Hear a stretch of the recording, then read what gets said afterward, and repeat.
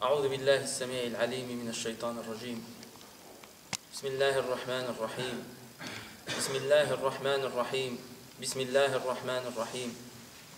والصلاة والسلام الأتمان الأكملان على حبيب الحق وشفيع الخلق سيدنا محمد النبي الأمي وعلى آله وأصحابه وأزواجه وذريته ومن تبعهم بإحسان إلى يوم الدين. ونحن معهم بمحض فضلك وجودك وكرمك يا أكرم الأكرمين. نستمر إن شاء الله عز وجل في مذاكرة كتاب سيدنا الشيخ حول أصول طريق الله عز وجل. وقف بنا الحال والمقال في الأصل الخامس من كتاب الأصول. هذا الكتاب الذي سماه سيدنا الشيخ بالأصول أو بالكواكب الدرية في بيان الأصول النورانية. فالأصل الخامس خصصه سيدنا الشيخ للاسم الجامع الدال على الذات لذكر تعريف تعريفه في اصطلاح أهل الله عز وجل وذكر مراتبه وحروفه وإلى ما يوصل إليه إلى ما يصل إليه السالك بإذن من شيخه بعد ذكر الاسم. هذا الذكر للاسم بعد إذن من حضرة الشيخ يرفع القلب فيها وبها إلى موقع النجم الذي هوى الذي هو قلب الحبيب المصطفى صلى الله عليه وسلم. فهذا السلوك بالتربية النبوية وبالهدي النبوي وبالسنة النبوية الذي التي تناقلها كابرا عن كابر وشيخا عن شيخ شيخا للتربية. أضاء له الحبيب المصطفى صلى الله عليه وسلم بقلبه في قلبه فأصبح خليفته في العصر يربي الناس على المنهاج النبوي الشريف حتى يوصلهم بذكر الاسم إلى معرفة المسمى عز وجل. فذكر سيدنا الشيخ في هذا الأصل الخامس الذي يدور عليه محور المعرفة بالله عز وجل وأسرار الحق عز وجل أسرار أسمائه وصفاته وتنزه ذاته عز وجل. فبعد ذكر الاسم يرزق العبد ببركة شيخه معرفة مراتب مراتب أسرار الذات الذي التي تتجلى للمريد للسالك بأسرار حروف اسم الجلالة الله. فخصص سيدنا الشيخ أول أول معرفة يتعرف إليها المريد السالك بمعرفة مراتب الذات ففسر سيدنا الشيخ وعرف الذات تعريفا تقريبيا لتفهم العقول الضيقة بعض المعنى وإلا فالكلام عن الذات غير لا تحمله العبارة ولا تطيقه الإشارة فكلام عن ذات الحق عز وجل لا يعرف ذات الحق إلا الحق سبحانه وتعالى ومن أحب الله سبحانه وتعالى أن يفنى ويضمحل في ذات الله سبحانه وتعالى. فقال فيها سيدنا الشيخ بأنها مسمى عين الكل القائم بنفسه غير المدرك بوجه من الوجوه الذي لا يوصف بعدم أو وجود فهي غيب الغيب وهي الكنز المخفي المستندة عليها في قيامها المعدوم. وهي الكنز المخفي وعلة ظهور سائر التكثرات الأسمائية والصفاتية والنعتية المستندة عليها في قيامها المعدوم. فأعطى لنا سيدنا الشيخ إشارات غالية تشير إلى معنى خفي كنزي لا يعرفه إلا القلب المحمدي صلى الله عليه وسلم ومن تنزل في حضرته من خلفائه أهل الولاية الربانية ومن تبعهم من السالكين وآمن بهم وصدقهم. فأمر الذات خطير جلل عظيم. لذلك كان الإشارة فيها تسير وتشير إلى الإخفاء وإلى الإبهام أكثر مما تشير إلى إلى التبيين لأنها لأن لا يمكن التحدث عن الذات. كما قال الحبيب المصطفى صلى الله عليه وسلم تفكروا في خلق الله ولا تفكروا في ذاته. فكانت من باب معرفة تنزلات شؤون الذات وأحكامها وأفعالها معرفة الأصل أو السر الأكبر الذي هو سر الهوية الذي يتلقاه المريد ببركة الشيخ في خلوته بعد خلوته بعد أن يضمحل المريد في نورانية رسول الله صلى الله عليه وسلم فيتعرف على مراتب تنزل الذات في الأسماء والصفات حتى يعرف الحق عز وجل. وأول ما يباح له سر الهوية بمراتبها بالمرتبة الأولى أو ما يحدده الشيخ على حسب استعداد المريد. ثم ذلك بعد ذلك يتكلم سيدنا الشيخ بعد أن تكلم على إشارات عن الذات لأنها هي المرغوبة وهي المطلوبة لدى السالك معرفة ذات الحق سبحانه وتعالى معرفة قربه سبحانه وتعالى ومعرفة محبته ومعرفة صفاته وأسمائه وكل ذلك كما قال أسماء وصفات للحق سبحانه وتعالى يتعرف بها السالك من أجل معرفة الذات العلية لأن الأصل والغاية من ذكر الاسم المفرد أو الاسم الأعظم هو معرفة المسمى التي هي الذات العلية. وبعد ذلك خصص سيدنا الشيخ بابا التي هي أول تنزل وأول حضرة تختص بها الذات العلية وهي حضرة الأحدية. حضرة اسم الله الأحد المتجلية في الحضرة الأحدية يقول فيها سيدنا الشيخ أخص حضرات الذات. أحص أخص حضرات الذات اللامتعينة. وقلزم المحو لجميع المراتب والنسب والاعتبارات. والقلزم في اللغة هو الشيء الذي يمتص كل شيء ويبلع كل شيء. إذا حاولنا أن نمثله في عالمنا الحسي فهو يشبه ذلك الثقب الأسود في الكون.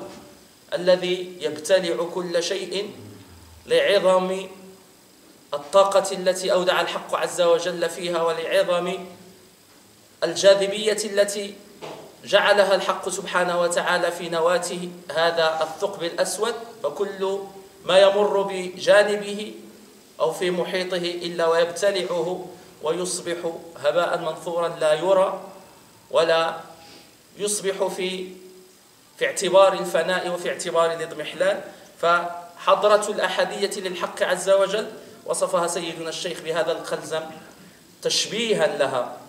وأما ذكر تعريفها فلا تصل إليه العبارة إنما أشار ذلك سيدنا الشيخ من أجل أن يقرب المعنى لعقولنا الضيقة حتى تفهم يفهم معنى من معاني التشبيه لأوجه حضرة الأحدية للحق عز وجل فقال هي أخص حضرات الذات لأنها أول تنزل للذات التي هي محض معرفة الله نفسه بنفسه لا يطلع عليها مخلوق إلا أن الحق سبحانه وتعالى كما قال كنت كنزا مخفيا لم أعرف فهذه الذات وتعبير عن خفاء هذا الكنز فهذه الحضرة الأحدية تمحى فيها جميع المراتب والنسب والاعتبارات وسائر الأعيان والتكثرات فلا يذكر معها اسم ولا صفة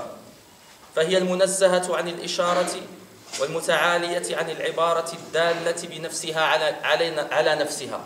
فحضرة الأحد التي قال فيها الحق عز وجل قل هو الله أحد.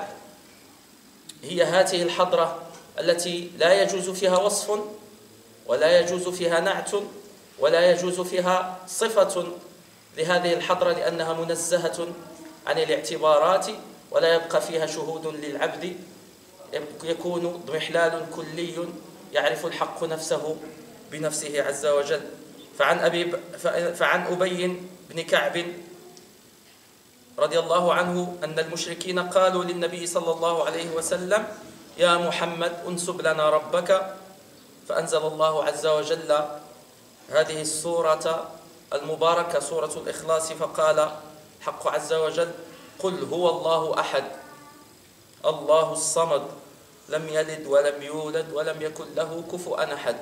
فبعد أن جاء السؤال عن نسبة الحق سأل المشركون الرسول صلى الله عليه وسلم يا محمد انسب لنا ربك. فجاء الوصف من حضرة الأحد سبحانه وتعالى ليصف نفسه بوصف كأنه يعجز المشركين ويقول يقول لكل الخلق أن هذا الحق عز وجل أن هذا الرب سبحانه وتعالى إنما هو منزه عن كل وصف وعن كل ما تدركه العقول وعن كل ما يتشابه في الأوهام وفي التخيلات. فقال سبحانه وتعالى قل يا محمد صلى الله عليه وسلم هو الله أحد. فانطوت هذه الصورة يقول سيدنا الشيخ على كل أسرار التوحيد والمعارف الربانية إذ أن كتاب الحق المبين كما هو معلوم جاء على ثلاث أقسام ظاهرية وهي الأحكام والقصص والعقيدة. الأحكام من أجل تنظيم العلاقات بين المخلوقات والقصص من أجل تبيين حضارات الأنبياء والمرسلين ومن أجل تبيين أخذ العبرة لمن لم يصل إلى الشهود بالخبر فينتفع بذكر الأبرار والأنبياء والمرسلين والعقيدة هي أس الدين وأساسها. فجمعت واستوفت سورة الإخلاص يقول سيدنا الشيخ جميع أسس جميع أسس ومراتب التوحيد. لذلك قال النبي صلى الله عليه وسلم لأصحابه أيعجز أحدكم أن يقرأ في ليلة ثلث القرآن؟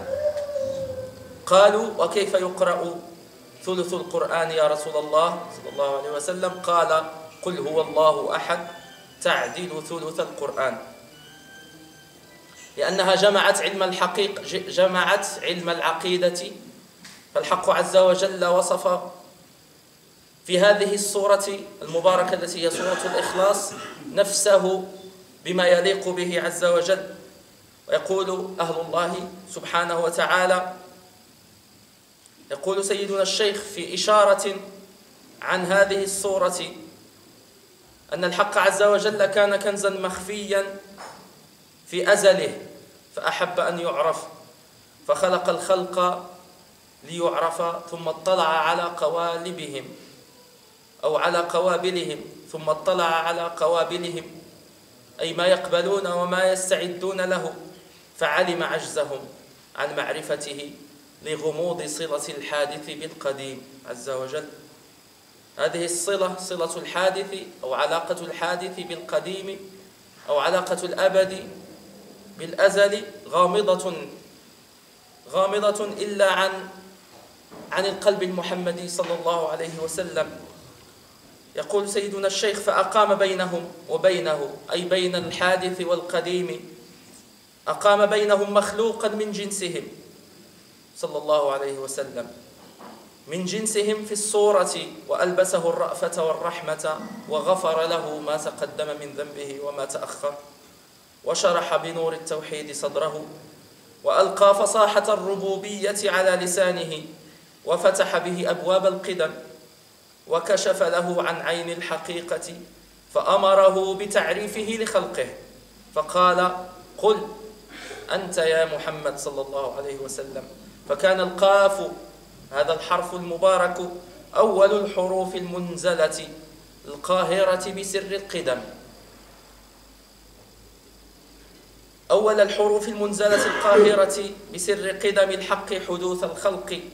وحتى تظهر عظمة القدم على الحدثان أو الحدث إذ ذاك قال هو. قل كما قال سيدنا الشيخ إظهار لعظمة القدم على الحدثان أو في الحدثان. فقال بعد ذلك هو فتهافت أو فتاهت قلوب أهل التوحيد في أودية الحيرة والتيه لما تبدت لهم عظمة الهوية وتزلزلت أركان وجودهم وانهدت واندثر الحادث بظهور القدم سبحانه وتعالى. وأفناهم فناء سرمديا حتى يبقى كنه الألوهية منزها عن الشريك. فإنما تولوا فثم وجه الله. عند ذلك أظهر اسمه الجامع الدال عليه الله عز وجل. فتبي فتبينوا لام العظمة التي هي لام لام الأولى في اسم الجلالة لام القبض فسجدوا لله سبحانه وتعالى. وتبينوا لام العشق فذابوا من رشفة الشوق والولة ثم كاشفهم بفردانية الألف ألف التوحيد فأقروا بالعجز عن الإدراك وسكن فيهم كل متحرك وانمحقوا في عين الجمع فتجلت سطوة الأحد فاندكت الكثرة الاعتبارية. والنسب العينية فما من مخبر عنهم فما من مخبر عنهم وما من خبر. فعندما طلاع الحق عليهم بحضرة الأحدية انمحت صورهم وآثارهم وحضراتهم في حضرة أحدية الله عز وجل فكانوا كما قال سيدنا الشيخ لم يأتي مخبر عنهم وما من خبر عن هذه الحضرة حيث تاهوا هناك. ولا وصف ولا نعت ولا خبر عن من وصل هناك. قال شيخ شيوخنا يرويه سيد أحمد بن عجيب رحمة الله عليه في كتاب تفسير البحر المديد. قال شيخ شيوخنا سيدي عبد الرحمن العارف والحاصل أن الإشارة ب هو مختصة بأهل الاستغراق والتحقق في الهوية الحقيقة. فلانطباق بحر الأحدية عليهم وانكشاف الوجود الحقيقي لديهم فقدوا من يشار إليه فقدوا من يشار إليه إلا هو عز وجل. فانكشف لهم حقيقة الوجود وظهر الحادث فناء محضا وظهر الحق عز وجل قاهرا فوق عباده عز وجل. فلم يجدوا من يشار إليه إلا هو. فما رأوا إلا هو وما تكلموا إلا عنه سبحانه وتعالى لأن المشار إليه لما كان واحدا. كانت الإشارة مطلقة لا تكون إلا إليه.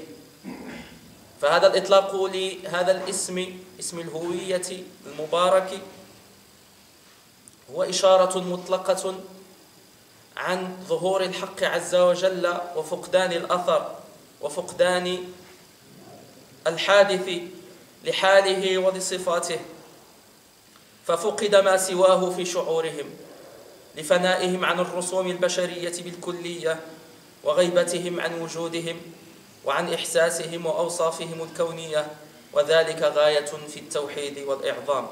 منحنا الله ذلك على الدوام وجعلنا من أهله ببركة نبيه صلى الله عليه وسلم وبالله التوفيق وصلى الله على سيدنا محمد وعلى آله وصحبه وسلم تسليما كثيرا إلى يوم الدين. انتهى كلام سيدنا أحمد بن عجيب رحمة الله عليه نقلا عن شيخه سيد عبد الرحمن العارف. صلى الله عز وجل أن يعرفنا به كما هو أهله وكما هو كما هو مقسوم لنا في حق شهود ربوبية الحق عز وجل وفي حق شهود. بلى اللهم يا رب أكرمنا بمحبتك وحسن كمال الأدب معك. اللهم لا تزغ قلوبنا بعد إذ هديتنا وهب لنا من لدنك رحمة إنك أنت الوهاب. اللهم إنا نعوذ بك من السلب بعد العطاء. اللهم إنا نعوذ بك من السلب بعد العطاء. اللهم يا رب اجعلنا في في خوف ورهبة من جلالك وفي طمع وخضوع لجمالك يا أرحم الراحمين يا رب العالمين. اللهم يا رب نزه أنفسنا عن الشرك والشك والشك والنفاق والشقاق وسوء الأخلاق يا أرحم الراحمين. أكرمنا بخلق الحبيب المصطفى صلى الله عليه وسلم شهودا وتوحيدا وتفريدا يا أكرم الأكرمين يا رب العالمين. اللهم يا رب ارفع راية طريق لا إله إلا الله سيدنا محمد رسول الله. اللهم يا رب انفع بها كل مخلوق وانفع بها كل مسلم. واجعل نورك يا أرحم الراحمين يسري في كل حي وفي كل مخلوق يا أرحم الراحمين يا رب العالمين. اللهم لا تحرم اللهم لا تحرم أمة الحبيب المصطفى صلى الله عليه وسلم من شهود نورك والخير